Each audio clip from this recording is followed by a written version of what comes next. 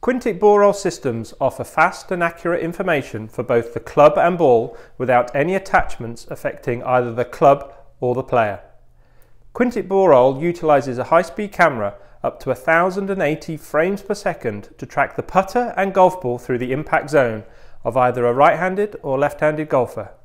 The system automatically measures over 45 parameters regarding the putter and ball, both graphically and numerically, the data is instantly displayed within the software for immediate analysis, review and intervention.